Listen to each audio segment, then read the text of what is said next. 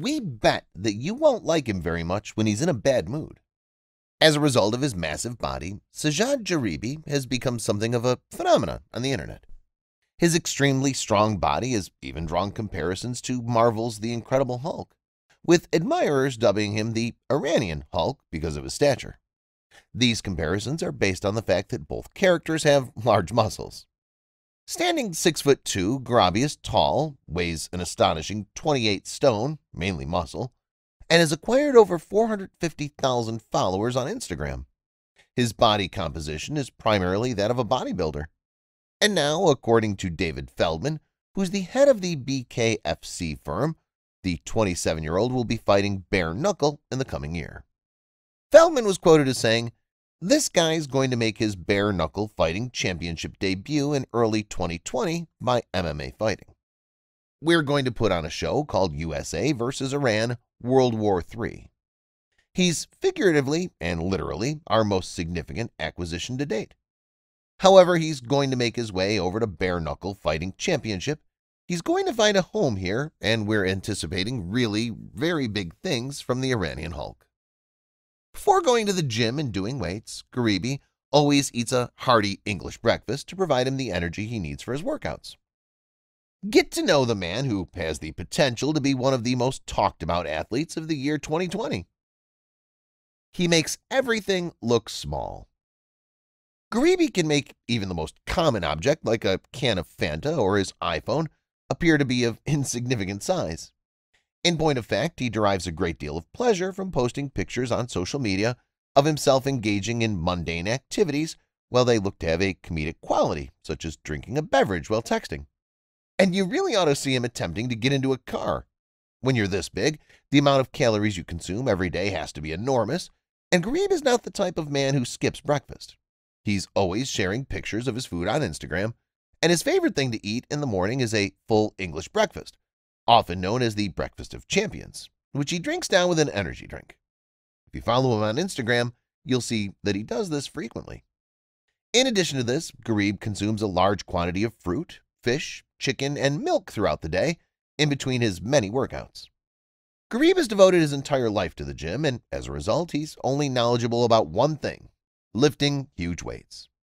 On his Instagram profile, he's a tribute to powerlifting. He often posts video snippets and still photographs documenting his workouts. You might probably guess that the weights he's lifting aren't exactly featherweights either. Lifting kettlebells isn't going to make you that amped, that's for sure. Back in 2016, Garib stated that he desired to assist in the fight against ISIS and join the Iranian armed forces in order to combat the Islamic State in the Syrian civil war.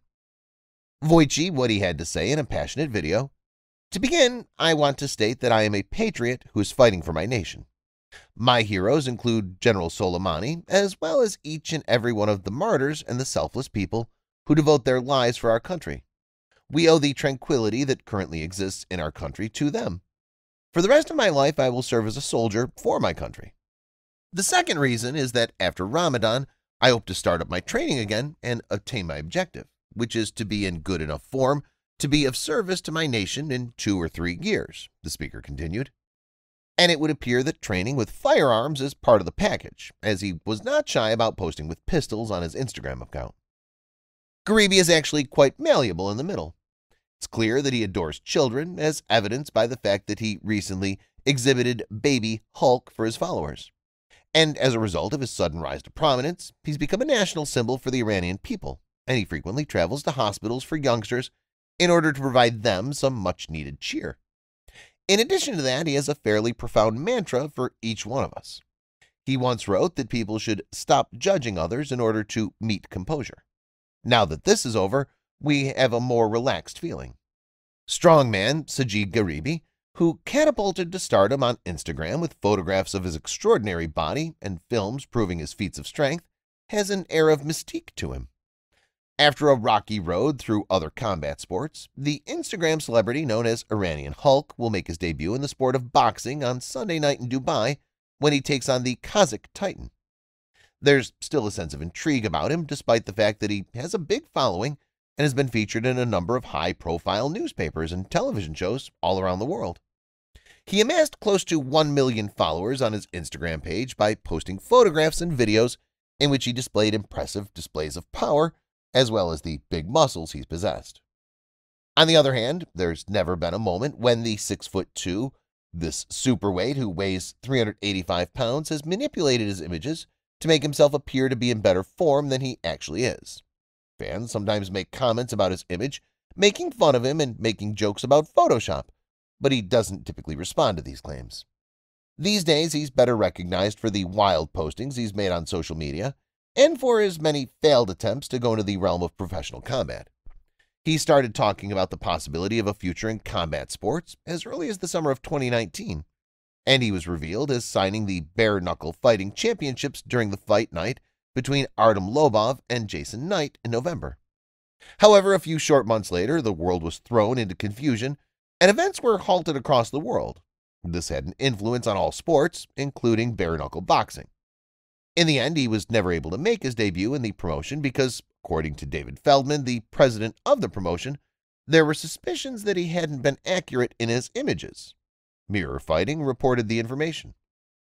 Feldman revealed in March why the promotion never materialized and why there was a breakdown in communication with Garibi.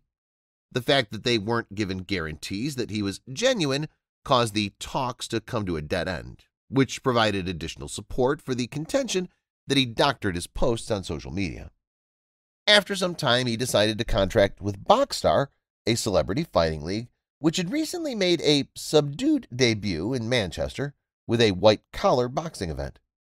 At the time he was competing in Manchester, they wanted to step up their game with a spectacular spectacle, so they scheduled a fight between the Iranian Hulk and Martin Ford, a British actor who's recognized as the world's scariest man.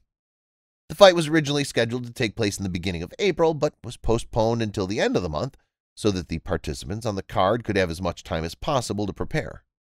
The two super heavyweights were scheduled to compete against one another in the main event of the same event. The football icon, Patrice Evra, was scheduled to meet the YouTube star, Adam Saleh. However, things started to go awry when Ford and Garibi met in person in Dubai for a pre-fight event. This was the moment when the event went off the rails. It became immediately evident that the Iranian may not be the man described on Instagram, whereas Ford was a genuine giant of a man who sent him flying with a push after their face-off got too close for comfort. The unfortunate event caused the Iranian man to become overcome with emotion, and he later claimed that his family had deserted him because of his frailty. During an emotional breakdown on Iranian TV, Hulk stated, I cannot contact my family. When I returned to Iran, I didn't go to my family. Hulk had not visited his family since his return.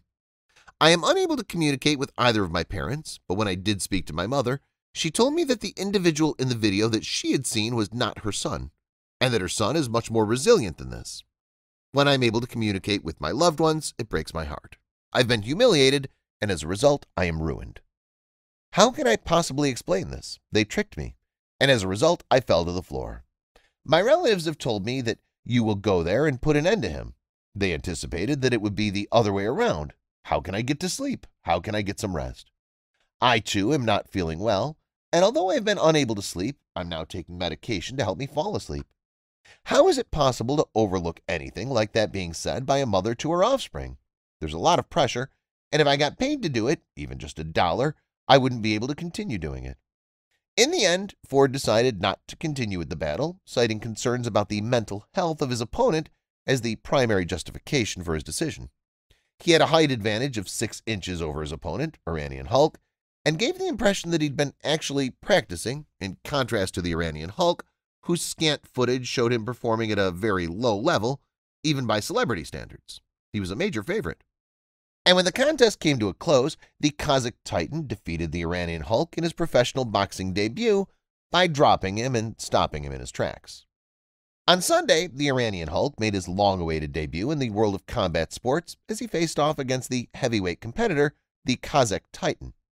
However, the social media phenomenon was only able to last for one round as the Kazakh Titan knocked him out in a matter of a couple of minutes. The Kazakh boxer, whose true name is Jumanov Almat Bakhtovich, started off the fight by landing a heavy body shot on his opponent before following up with a powerful left hand. The Iranian Hulk buckled under the pressure and even turned his back on his opponent, allowing the Kazakh Titan to rain blows down on his head. He didn't let up on the assault, and in the end, the referee had no choice but to stop the fight so he could declare him the winner by knockout. The intended competition between the Iranian Hulk and bodybuilder Martin Ford did not go ahead because of scheduling conflicts. After seeing his opponent sob at an emotional press conference, Ford decided it was best to call off the fight and give them both some time to recover. Ford stated that there were problems with payments to the organization, but that these problems were neither here nor there. Therefore, we have a confluence of four or five different occurrences that have taken place. Even after everything that has taken place, he still wants to engage in combat. On the other hand, it seems as though he believes that we are capable of staging a fight that would not necessarily be as real as an actual fight. Assuming that he's accepted the fact that something similar will not occur, we can claim with certainty that his management was acting in a highly suspicious manner. When we got back to the UK, I viewed all the tapes, and during one of the interviews, he was seen crying on television. Because of the backlash he received on social media and the fact that his parents publicly disowned him, I had to call the organization and tell them I can't fight this guy. I don't want to be responsible for this kid being bullied to the point that he took his own life because that's the only way it could have ended, the speaker said.